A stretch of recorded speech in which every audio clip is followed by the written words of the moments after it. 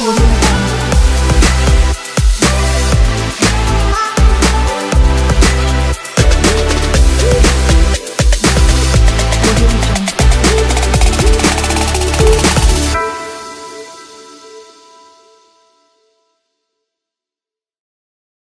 how to quantify measurement uncertainty?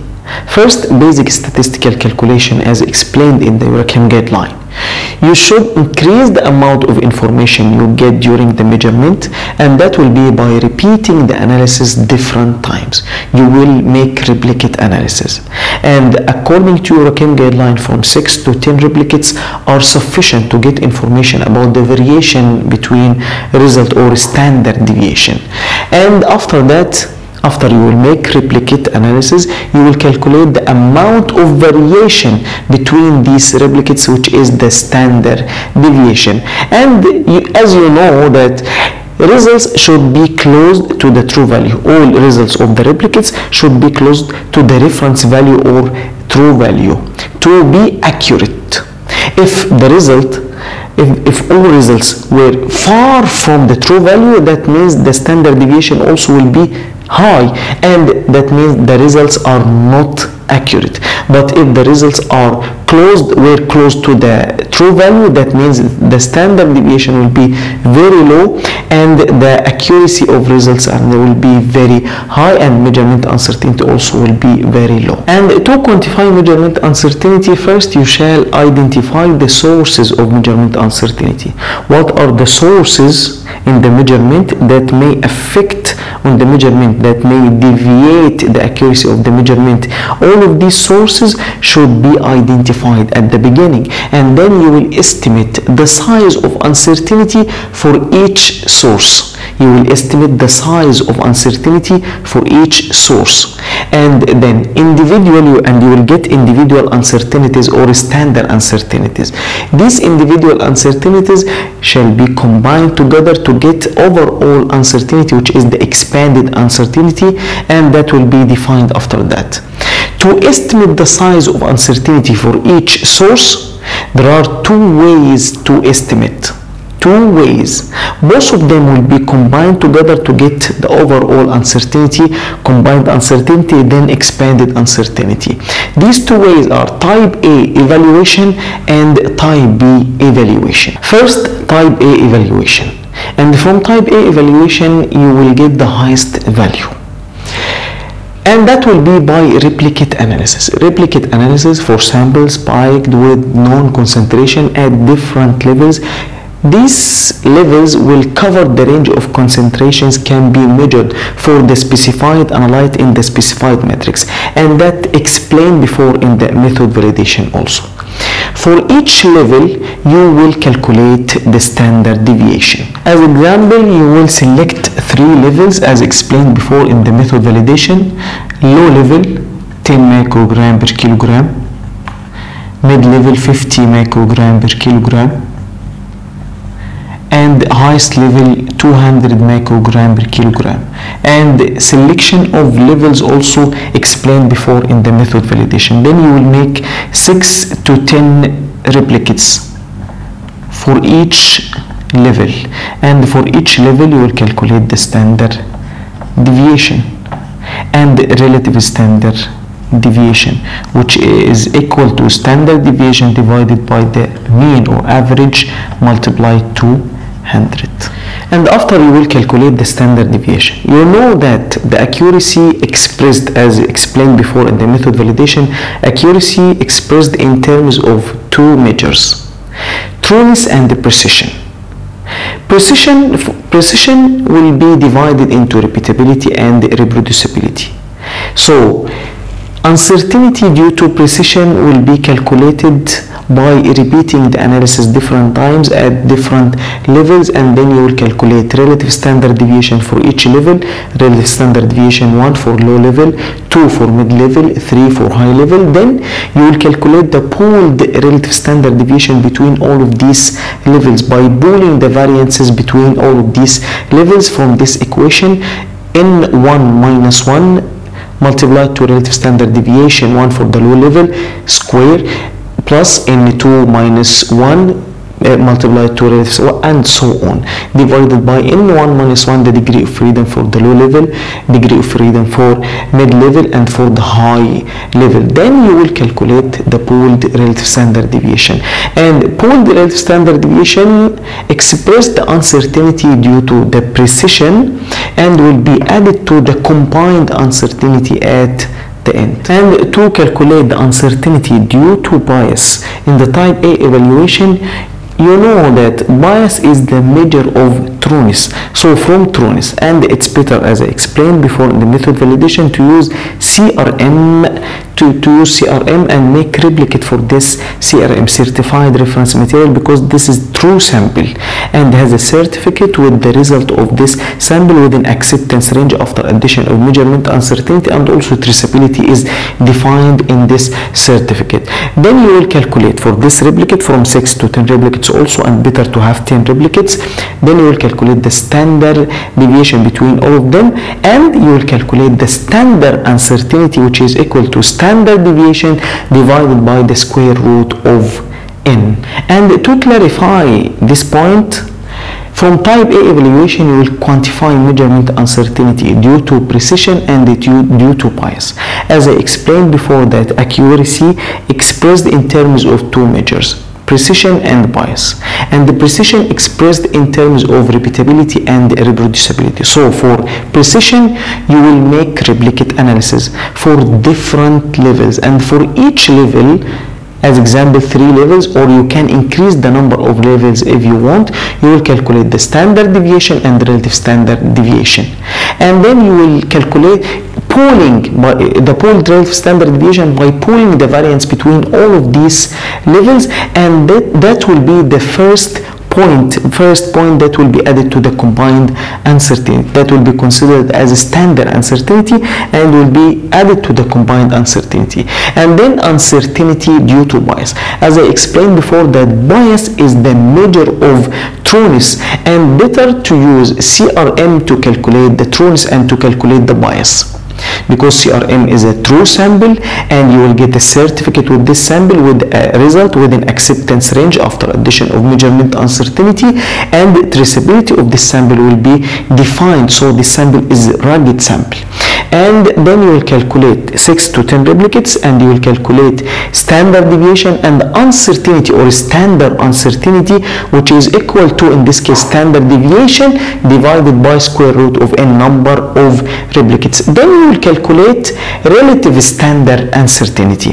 Relative standard uncertainty equal to standard uncertainty divided by mean recovery for all of these CRM CRM replicates multiplied 200 and that will be the second point will be added to the combined uncertainty you have pooled relative standard uh, deviation and you have relative standard uncertainty these two values will be added to the combined uncertainty. So standard uncertainty is the standard deviation of the mean which is equal to standard deviation divided by square root of n. And you should know that all contributing uncertainties from all sources shall be at the same confidence level.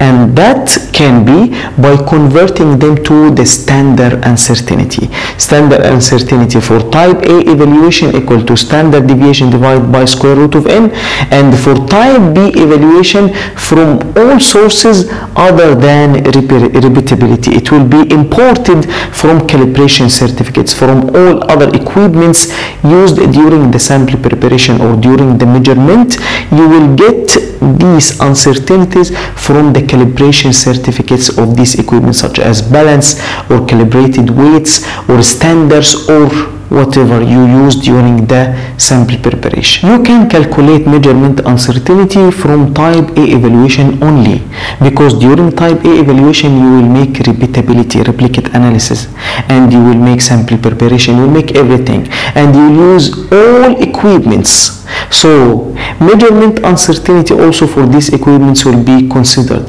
but also you can use type B evaluation if you want but it will be very low value very low value this type type B evaluation as I explained before imported from calibration certificates for other equipments used during the sample preparation such as balance, micropipette, calibrated weights, or standards or others. But you don't know. You will get this equipment after calibration uh, by calibration laboratory. You will get calibration certificates including the measurement uncertainty. But you don't know. You can you, you cannot use this measurement uncertainty value added in the certificate as it is because you don't know how they evaluate the measurement uncertainty. So you cannot use measurement uncertainty value from the calibration certificate as it is because the spread of a set of values can take different forms or probability distribution whether normal distribution or triangular or rectangular or other forms or probability, probability distributions. So the spread of a set of values can take different forms or probability distributions from these distributions, normal distribution or Gaussian, and like in this graph which characterizes the probability of random quantity. In the mean, you will have the highest probability of random quantity, so you cannot quantify measurement uncertainty at this area and by by decreasing by decre by moving on both sides that probability of random quantity will decrease gradually but will never get will never go to zero. So measurement uncertainty cannot be measured at 100 percentage confidence level. But confidence level will be increased because probability of random quantity will be decreased. From minus one standard deviation up to one standard deviation at coverage factor one you will have confidence level in the in the measurement 68 percentage. So you are 68 percentage confident that the result lie in between this range after addition of measurement uncertainty and probability of random quantity will be very high and you will accept a lot of data which are far from the true value. So this level cannot be used to quantify measurement uncertainty. And from minus 2 standard deviation up to 2 standard deviation at coverage factor 2 confidence level will be increased and the probability of random quantity will be decreased. Confidence level will be 95 percentage. And this is very good confidence level because probability of random quantity only will be 5 percentage and that's accepted. So this level can be used to quantify measurement uncertainty. And after that from minus 3 standard deviation up to 3 standard deviation at coverage factor 3 confidence level will be 99 percentage. And that's very tight because probability of random quantity is only one percentage or less than even less less than one percentage. So you will reject a lot of data which may be accepted or within the acceptable range. So it's very it's better it's better to use uh, to quantify measurement uncertainty uh, as i explained before at confidence level 95 percentage. So you can assume that measurement uncertainty comes with the calibration certificate. For these equipments used during the sample preparation are normally distributed and in this case you will calculate the standard uncertainty also. At confidence level 95 percentage coverage factor equal to which is equal to uncertainty from the calibration certificate divided by 2 and that will be the value that will be added to the combined uncertainty uh, based on the type B evaluation. And also you can assume rectangular distribution as example, if you have four pipettes and measurement uncertainty from the certificate was plus minus 0.03, but there is no information about the distribution used, what is the distribution, normal, rectangular or triangular or whatever, uh, you don't know. So you can assume rectangular distribution as in this graph. Here 10 ml, here from uh, probability against the ml, the volume, uh, so here 10 ml, plus plus 0.03 it will be 10.03 ml minus 9.97 in this case uncertainty will be equal to standard uncertainty will be equal to uncertainty from the certificate divided by square root of 3 and in case of triangular if you assume triangular distribution standard uncertainty will be equal to uncertainty from the certificate divided by square root of 6 again as i said before that you can calculate or quantify measurement uncertainty from type A evaluation only and all of these equipments will be included also in your replicate analysis and if you calculate type B evaluation, you will get a very low value that will be added to the combined uncertainty. All of these standard uncertainties, as I said before, will be combined together to get combined uncertainty. Then combined uncertainty, after you get standard uncertainty from type A evaluation and type B evaluation, individual standard uncertainties calculated from type A and B evaluations and also from sampling, sampling uncertainty will be combined together to get combined uncertainty, which is the root sum of the squares. Uncertainty combined equal to A square plus B square plus C square plus whatever you will get. So pooled relative standard deviation, uncertainty due to precision, Uh, relative standard uncertainty, uncertainty due to bias, and also uncertainty due to sampling, and also uncertainty from type B evaluation. Then you will calculate the overall uncertainty or expanded uncertainty that will be added to the final result. Uncertainty which is equal to combined uncertainty multiplied to the coverage factor 2 because at confidence level 95 percentage you have coverage factor. 2 then you will get the overall uncertainty. That will be added to the final result of the measurement. And according to ISO 17025 2017 edition uncertainty of measurement shall be converted to the unit of the analyte. As example in the unit of the analyte 50 if the result came out like this 50 microgram per kilogram microgram per kilogram. Plus minus measurement uncertainty 10 percentage. So here is a percentage and here microgram per kilogram. So you will calculate 10 percentage from the result that you got the final result.